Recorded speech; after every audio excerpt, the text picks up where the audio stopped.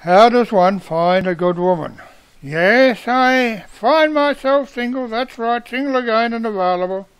Here I am, ladies, that slightly exotic, wild Mallee bushman. Yes, I'm house-trained, yes, I even put the seat up when I pee and put it down again afterwards. Now, I am told my, by my spirit guides that there are several ladies out there in the bushes on the path of life, just watching and observing me but not saying anything. I have to say, I'm not that scary, not really. So ladies, come out and talk to this exotic, slightly exotic Mallee bushman. I don't know if their mothers told them that mothers decide who lets them into their lives. I know some men delude themselves into thinking that they have a say, but not really. I actually have little say at all. Now recently I was told by one of my friends, who shall remain nameless, that I was a bit scruffy. Well, I thought, we can't have this. I'll try and get a haircut. But the bloody hairdresser had tickets on himself, $60 a cut.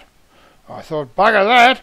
So, uh, as I, well, I said to quietly to myself, as he was a bigger man than me, so I went home and shaved my head. Well, that wasn't such a good idea either, and that didn't go down well either. So back to the drawing board.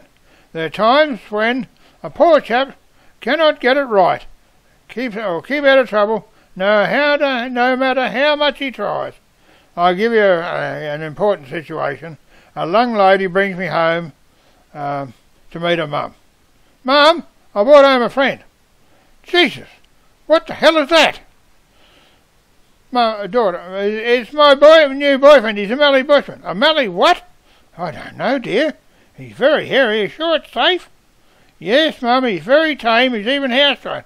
Oh, God. Oh, God, no. Think of the neighbours, we'll say. What about your grandmother? Think of the shock you'll get. She might even have a heart attack. But, Mum, he's lovely. So lovely and gentle. Please, can I... I love him. Can I keep him? Oh, no, I don't care. Take it back where you found it. In the mallee or wherever. But, uh, but, Mum, I love him. Oh, God. I'll get you a talking parrot. Uh, that has the same bright colours, and it won't terrorise the neighbours. At least, at least if you don't teach it the language your father talks. Uh, please, Mum. He's so lovely, and I love him. Oh, God, I was afraid of that. I'll get you a dog, anything. Please take it back where you found it. Oh, God. The things my daughter brings home. What will it be next? One of those wild, exotic, outback men? The, the crocodile person? Or something else? Oh, God help us all.